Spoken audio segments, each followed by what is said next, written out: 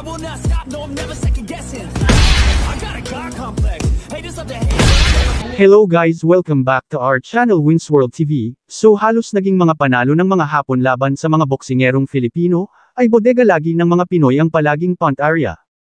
Magmula kay Jonas Sultan, Marlon Tapaliz, at ang pinakabagong biktima ay si Vincent Astrolabio na pinalasap ng isang mandirigmang hapon na walang iba kundi si Junto Nakatani kamakailan lang. Goes Astrolabio! Wow, look at that shot. I Ngunit may isang Filipino na boksingero na hindi tinatabla ng anumang suntok sa bodega, dahil ang bodega nito ay malabakal ang tigas, at mas pinatibay pa niya, siya ay walang iba kundi si Cuadro Alas Angas ng Pinas John Riel Casimero. At lahat ng mga nakalaban nitong hapon ay kanya lang tinapos, at pinahirapan ng sobra-sobra. Gaano na nga ba kalakas ang bodega nitong tinaguri ang angas ng Pinas Cuadro Alas John Riel Casimero? Isa rin sa kinakatakutan at iniiwasan makalaban ng hapon na sinaoya inuwi itong pambato natin na si John Riel Casimero. Ganito sinakop ni John Riel Casimero ang bansang Japan, sa pamamagitan ng pagtalo nito sa kanyang mga nakakasagupa. Magmula kay Kenya Yamashita, Uppercut on the bottom. Tagilir.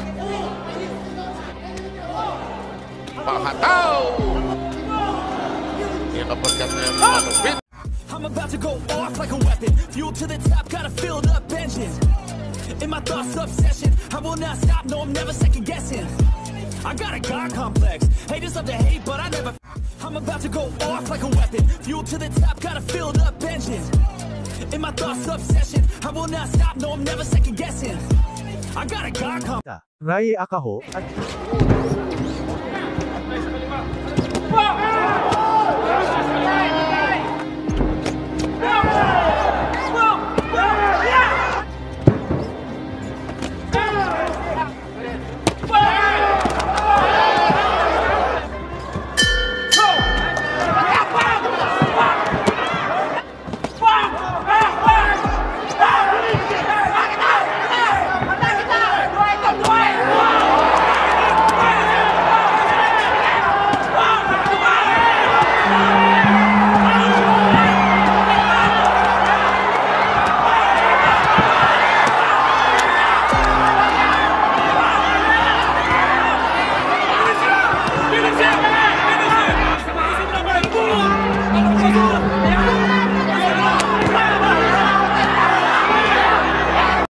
I'm about to go off like a weapon. Fuel to the top, got a filled up engine.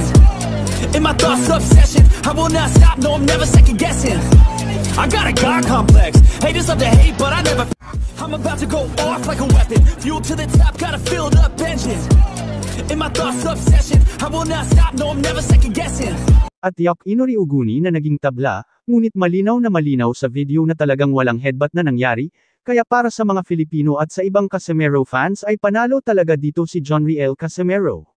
美ボディさらにキックリーダー思いっきり振っていったさあさらにここでまとめるかしかし一方頭を下げられたタイツ小木にリードストレートしかし右キックカシメルが前に出ますカシメルが小木を今ロープに背負わせそして応援選手もしっかりともらうというええ気持ち見ていますね。そうですねまず序盤の見どころどういったところでしょうか 山田さんはい。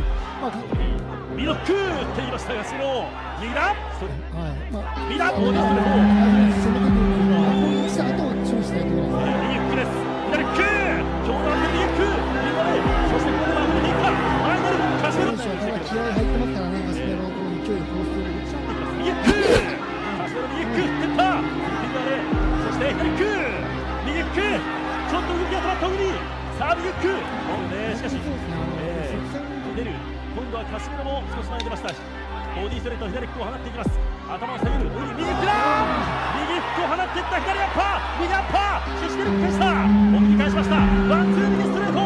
カシメロのコールが襲いかかっていきます。カシメロ左フックだちょっと足に来てるかもしれないですね。あ、そうですか。はい。コツコツ当てていますからね。左キュー、カシメロ。しかしこれ伸びましてきますからね。山本さん左キュー、ちょっとバランスを崩した顔に左フックです。ラウンドは残り15秒になります。おっと右フック、これは避難した危ないところです。右フック、そして左フックを放っていきます。カシメロにワンツーを放っていったところで第3を浴びせることができるのか。左フック、放っていきましたカシメロ。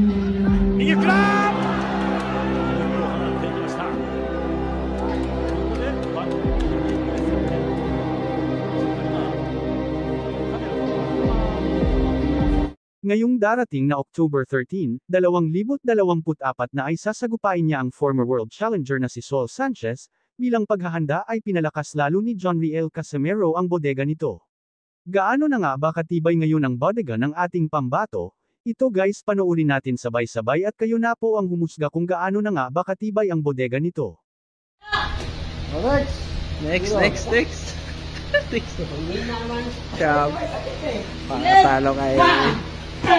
No, kaya ino yan.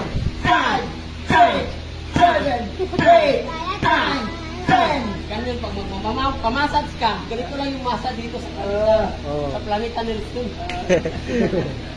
One, two,